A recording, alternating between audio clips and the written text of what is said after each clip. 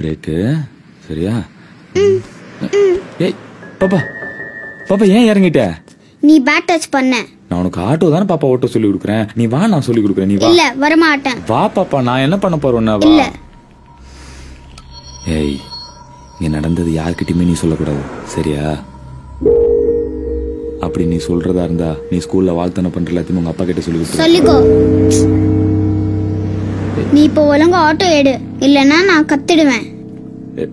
நான் சும்மா சொன்ன பாப்பா. நீ நம்பிட்டியா? மாமா உங்ககிட்ட விளையாண்டேன். சரியா? ஏறு வா.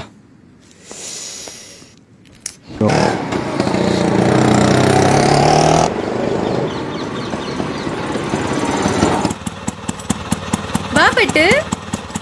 அம்மா இந்த அங்கிள் என்ன பேட் டச் பண்ணி டார்ச்சர் பண்ணாருமா. அப்படியா? எங்க டச் பண்ணாரு? இங்க. டேய். இல்லக்கா. ராஸ்கல் குழந்தை மேல கை வைக்கிறியா.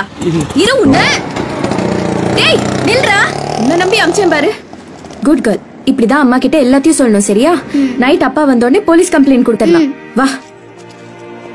பொறுக்கி. ஏமா நின்னு பாக்குற? மடியில உட்காந்து பாரு. வா. முடியாது.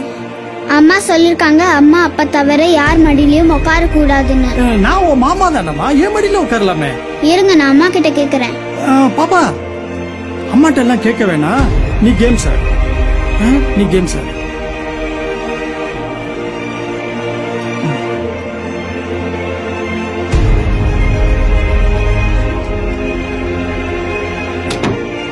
நீங்க எதுக்கு டோர் க்ளோஸ் பண்ணீங்க? நம்ம ஒரு விளையாட்டு விளையாடுவோமா? டோர் க்ளோஸ் பண்ணிட்டு அப்படியே என்ன விளையாடணும்? பேய் விளையாட்டு. இருட்டாத தானே பயங்கரமா இருக்கும் ஜாலியா இருக்கும். என்ன? ஆனா அம்மா சொல்லிருக்காங்க டோர் க்ளோஸ் பண்ணிட்டு யார் கூடயும் விளையாட கூடாதுன்னு அண்ணன் கூட தானே விளையாடுற? ஒன்னாவது பாப்பா. இல்ல நீங்க இப்போ டோர் ஓபன் பண்ணுங்க ஏன்னா நான் கத்திடுவேன். இல்ல இல்ல ஒண்ணு இல்ல ஒண்ணு இல்ல. அண்ணா திறந்து விட்டுறேன் சரியா? போ.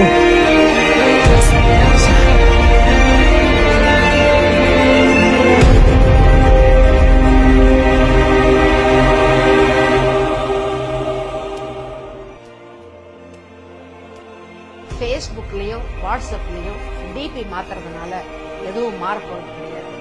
நாம மாறணும் அப்பதான் நிஜமான மாற்றம் நிகழும். நம் குழந்தை வாழ்க்கை நம்